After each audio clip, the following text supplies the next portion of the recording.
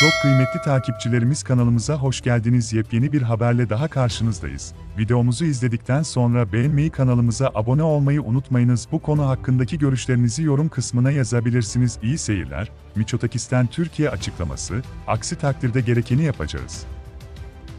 Değerli izleyenler, Yunan Devlet Televizyonu ERT'te konuşan Yunanistan Başbakanı Kiryakos Mitsotakis, Türkiye ile son günlerde yaşanan adalar gerilimine ilişkin açıklamalarda bulundu. Yunanistan'ın adaları silahlandırmasına tepki gösteren Türkiye'nin şikayetlerinin tamamen mantıksız olduğunu dile getirdi Mitsotakis.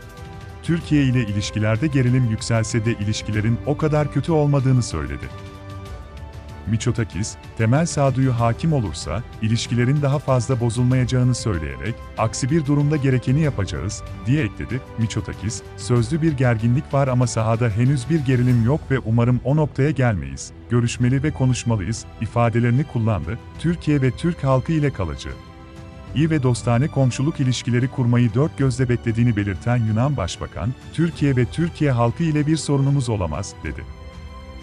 Miçotakis, Erdoğan ile tekrar görüşme ihtimaline ilişkin, tabiatıyla bir ara buluşacağız, buluşmalı ve konuşmalıyız, ifadesini kullandı. Cumhurbaşkanı Recep Tayyip Erdoğan, Efes tatbikatında Yunanistan'a tepki göstererek, şaka yapmıyorum, ciddi konuşuyorum, bir asır önce olduğu gibi pişmanlıkla sonuçlanacak hamlelerden uzak durmasını, aklını başına almasına davet ediyoruz. Kendine gel, Türkiye adaların silahlandırılması konusunda uluslararası anlaşmaların kendine tanıdığı hakları kullanmaktan geri durmayacaktır ifadelerini kullanmıştı.